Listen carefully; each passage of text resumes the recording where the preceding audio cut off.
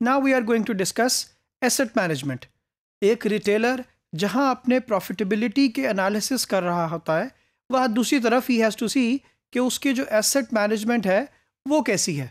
Asset management के अंदर उसके फिक्स एसेट्स उसके करंट एसेट्स उसका एसेट टर्नओवर उसका इन्वेंट्री टर्नओवर ये सारी तरह की बातें जो हैं, वो कैलकुलेट होती हैं। तो हम क्विकली वन बाय वन इनको डिस्कस करते हैं।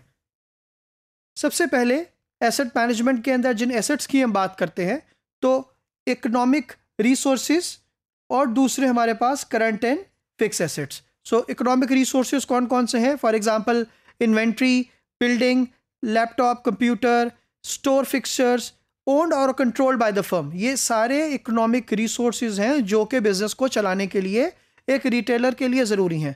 तो एक तरफ़ उसके इकोनॉमिक रिसोर्सेज होते हैं और दूसरी तरफ़ उसके करंट एंड फिक्स एसेट्स होते हैं। तो current assets and fix assets current assets कौन कौन से होते हैं? करंट एसेट्स के अंदर inventory plus cash plus account receivable वो पैसे जिन कस्टमर से लेने हैं, वो अकाउंट रिसीवेबल हैं प्लस कैश और प्लस इन्वेंट्री इन तीनों चीज़ों को अगर हम सम कर देते हैं तो हमारे पास ये सम कहलाता है करंट एसेट्स के तौर पे। और फिर अगर फिक्स एसेट्स की बात करें तो फिक्स एसेट्स हमारे पास है फिक्सचर लैंड बिल्डिंग और प्लस स्टोर्स जो ओन्ड हैं आपके, जो रिटेल स्टोर का जो आपकी प्रॉपर्टी है that is your fix assets machinery भी आपकी इसी के अंदर फॉल कर रही होती है। फिर क्योंकि एक रिटेलर एनालिसिस अब करने जा रहा है तो सबसे पहला एनालिसिस वो करेगा एसेट टर्नओवर के हवाले से। और एसेट टर्नओवर की कैलकुलेशन है sales divided by total assets निकल के आएँगे हमारे पास जो outcome that outcome will be asset turnover इसको हम अभी डिस्कस भी करते हैं अपनी आने वाली स्लाइड्स के अंदर। और दूसरा जो एनालिसिस वो एसेट मैनेजमेंट के अंदर कर रहा होता है, वो करता है इन्वेंट्री टर्नओवर के हवाले से। और इन्वेंट्री टर्नओवर कैसे कैलकुलेट की जाती है? कॉग्स जो कि कॉस्ट ऑफ़ गुड्स सोल्ड है या कॉस्ट ऑफ़ सेल्स है डिवाइडेड बाय एवरेज इन्वेंट्री की कॉस्ट उससे अगर हम डिवाइड कर देंगे तो जो आउटकम हमारे पास आएगा वो इन्वेंट्री टर्नओवर का कहलाएगा क्योंकि इन्वेंट्री भी वन ऑफ़ दी एसेट्स में से है, जिसको हमने अभी इकोनॉमिक रिसोर्सेज के तौर पर डिस्कस किया है या करंट एसेट्स के तौर पर डिस्कस किया है तो हमारे पास हम एनालिसिस करेंगे इन दोनों चीज़ों का एसेट टर्नओवर का भी और इन्वेंट्री टर्नओवर का भी। हमारे पास एक एसेट इंफॉर्मेशन है of two retail store Macy's की भी और कॉस्कुक भी, ये बैलेंस शीट है। Balance sheet is actually reflection of assets and liabilities of a particular retailer या किसी भी एक ऑर्गेनाइजेशन का। तो हमारे पास एक पिक्चर निकल के नज़र आ रही है यहाँ पर आपको कि ये टोटल एसेट्स हैं। फॉर एग्ज़ाम्पल टोटल एसेट्स हैं जिसके अंदर दोनों बातें शामिल हैं फिक्स एसेट भी शामिल हैं और करंट एसेट्स भी शामिल हैं। तो ये मैकीज़ के टोटल एसेट्स हैं और कॉस्को के जो एसेट्स हैं टोटल एसेट्स वो ये मैंशन है। लेट से सत्रह हज़ार डॉलर और twenty nine thousand dollar approximately तो जो फ़र्स्ट रेशो हम कैलकुलेट करने जा रहे हैं वो इन्वेंट्री टर्नओवर रेशो है। और इन्वेंट्री टर्नओवर कैसे थी? कि cost of goods sold divided by inventory जो एट कॉस्ट है। तो हमारे पास अगर इन दोनों को हम डिवाइड uh, कर देते हैं तो फॉर्मूला हमारे पास ये अप्लाई करके आता है। लेट से इसका आउटकम आया 3.04 इसका आउटकम आ गया 11.54 इसका मतलब ये है कि मैकीज का inventory turnover is three times जबकि कॉस्को का इन्वेंट्री टर्नओवर इज़ 11.54 टाइम्स तो हमारे पास cost of good sold let's say X value divided by आपकी इन्वेंट्री की कॉस्ट उससे करेंगे तो आउटकम हमारे पास सामने आ जाएगा। इसी तरीके से एसेट टर्नओवर की कैलकुलेशन करेंगे। इसी तरीके से हमारे पास रिटर्न ऑन एसेट की बात कर रहे होंगे which is net profit margin multiply by asset turnover तो इस सारी कैलकुलेशन को हम वन बाय वन अभी आने वाली स्लाइड्स के अंदर कवर करेंगे और डिस्कस करेंगे। ये सारी इंफॉर्मेशन का सोर्स हमारे पास कुछ part are related to invent आपकी बैलेंस शीट और कुछ कंपोनेंट हमारे पास निकल के आएँगे। हम जिस तरीके से नेट प्रॉफिट मार्जिन की बात करेंगे तो वो इनकम स्टेटमेंट से हमारे पास आ रहा होगा और कुछ चीज़ें हमें बैलेंस शीट से मिल जाएँगी। सबसे पहले अगर हम बात करेंगे इन्वेंट्री टर्नओवर के हवाले से तो इन्वेंट्री टर्नओवर क्या है? इज़ एक्चुअली एक रिटेलर ये इवेल्युएट करता है कि मेरी स्टॉक स्टोर में जो स्टॉक है वो इन्वेंट्री है, वो कितना ज़्यादा टर्न अराउंड करती है, कितने टाइम्स वो टर्न अराउंड करती है। तो क्या इंपॉर्टेंस है? कैलकुलेट करने की स्टॉक टर्नओवर रेट जो कि मेन काम है हमारे पास, कि आपका स्टॉक टर्नओवर रेट क्या है। तो सबसे पहली इंपॉर्टेंस का पार्ट ये है कि inventory turnover rate differs by industry सबसे पहली बात, और प्रोडक्ट कैटेगरीज क्लोथिंग के अंदर there will be different turnover rate जबकि फ़ूड के अंदर ग्रॉसरी के अंदर they will be cat purely different जो है वो टर्न ओवर रेट होगा। इसी तरीके से इंडस्ट्री की भी बात करेंगे तो अगर कोई फ़ैशन इंडस्ट्री होगी वुड बी डिफरेंट अगर कोई फ़ूड इंडस्ट्री होगी would be different inventory turnover तो रिटेल के अंदर कोई और टर्नओवर रेट होगा। दूसरी बात most retailers that are having problems achieving adequate profits have a poor inventory turnover rate हमने ऐसी बहुत सारी एग्ज़ाम्पल डिस्कस की है। अगर के मार्ट और वॉलमार्ट की एग्ज़ाम्पल की बात करेंगे तो Walmart has good inventory turnover versus Kmart इसकी एग्ज़ाम्पल हमारे पास मौजूद है, अभी हम डिस्कस करते हैं। कि क्या, किस वजह से आप अपने प्रॉफिटेबिलिटी टारगेट्स एक रिटेलर अचीव नहीं कर पाता है, अगर उसके इन्वेंट्री टर्नओवर रेट जो है वो बहुत ज़्यादा ज़्यादा, बहुत बेहतर नहीं है, ज़्यादा नहीं है? तो एक रिटेलर का टारगेट क्या है? कि इन्वेंट्री टर्नओवर रेट ज़्यादा से ज़्यादा हो, ताकि ज़्यादा से ज़्यादा वो अपने नंबर ऑफ़ टाइम्स अपनी इन्वेंट्री को रूटेट कर सके। तो अगर मैं एग्जांपल्स की बात कर रहा हूँ वॉलमार्ट वर्सेस के मार्ट की तो अगर आप देखेंगे तो वॉलमार्ट का जो इन्वेंट्री टर्नओवर रेट ये 2000 का डेटा है जस्ट एज एन एग्जांपल तो that is 7.3 times per year यानी कि एक साल में इन्वेंट्री 7.3 टाइम्स रूटेट होती है। इसी तरीके से टारगेट एक और वन ऑफ़ द रिटेलर्स में से है उसकी inventory 6.3 times per year rotate होती है। और अगर के मार्ट की बात करते हैं तो 3.6 टाइम्स पर ईयर उसकी इन्वेंट्री रोटेट हो रही है। तो जो एग्जांपल मैं आपको दे रहा था कि अगर कोई रिटेलर अपने प्रॉफिटेबिलिटी टारगेट अचीव नहीं कर पा रहा होता तो that is one of the reasons कि उसकी इन्वेंट्री घूम नहीं रही है, उसकी इन्वेंट्री सेल आउट नहीं हो रही है, उस तरीके से रोटेट नहीं हो रही है।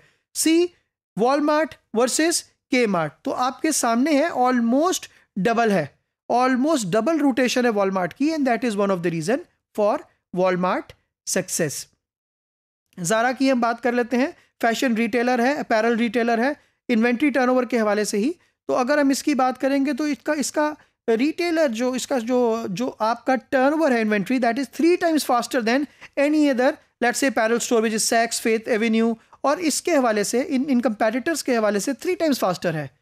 ज़ारा की फ़िलासफ़ी के अंदर जो अपैरल है they are perishable means they consider apparel as perishable तो इस तरीके से they plan their inventory turnover के how fast they have to move their apparel apparel normally apparel industry के अंदर the standards are different as compare to the other industries inventory turnover की calculation का formula is very simple so cost of good sold divided by average inventory cost of good sold divided by average inventory इसका outcome आपको देगा inventory turnover दो example हमारे पास हैं, दो retail stores के हवाले से। तो अज्यूमिंगली कि आपकी cost of good sold sixteen thousand आपका average inventory is five thousand three hundred and one and seventeen तो आपके पास जो आउटकम आया that is three point zero four और 3.04 का मतलब क्या है कि मैकीज अपनी इन्वेंट्री को थ्री टाइम्स टर्न अराउंड करता है टर्न ओवर करता है three times in a year और कॉस्को जो है वो eleven times normally again the parameters industry by industry differ करते हैं, लेकिन अगर हम फ़ूड इंडस्ट्री की बात करते हैं तो उसमें जो बेंच मार्क है that is every month you have to rotate your inventory so rotation would be one per month which means twelve is the ideal one और हर रिटेलर इसको अचीव करने की कोशिश करता है। इस एग्ज़ाम्पल के अकॉर्डिंगली मैकीज बहुत ही टफ सिचुएशन के अंदर है। जबकि कॉस्को बहुत ही बेहतर सिचुएशन में आपको नज़र आ रहा है। इंपॉर्टेंस क्या है हमारे पास?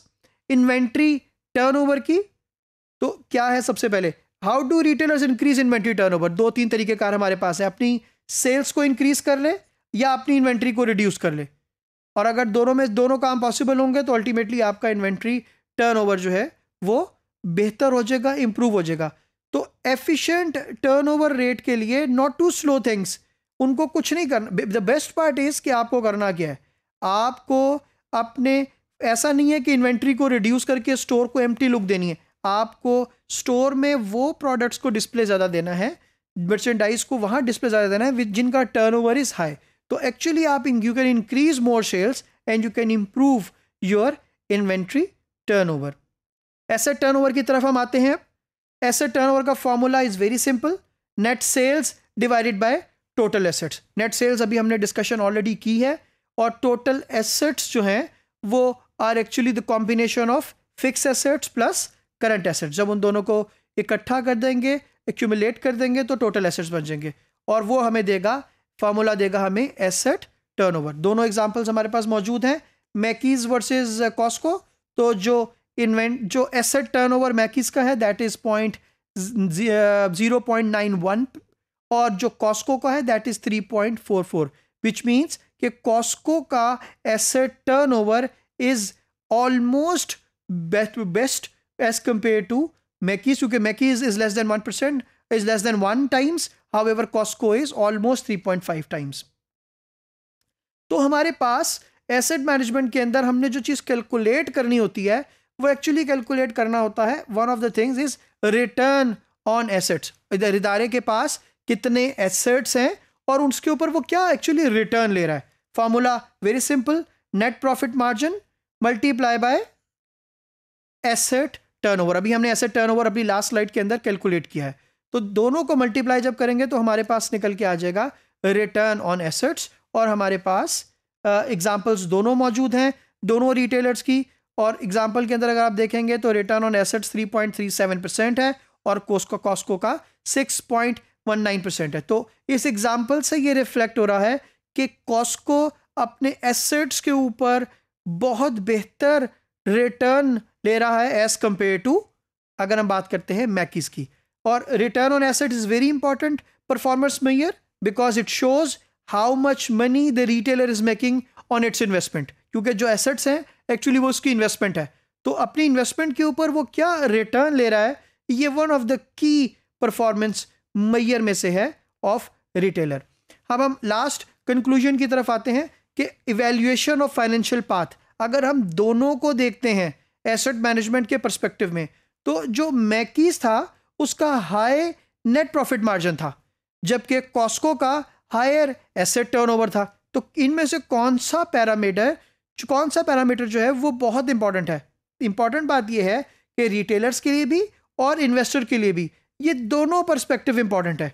They they can not ignore profitability part they can not ignore asset turnover part तो रिटेलर को कोई भी स्ट्रेटेजिक डिसीज़न लेते वक्त इन दोनों कंपोनेंट्स को देखना है इवेल्युएशन करना है इवेल्युएट करना है और फिर डिसीज़न करना है।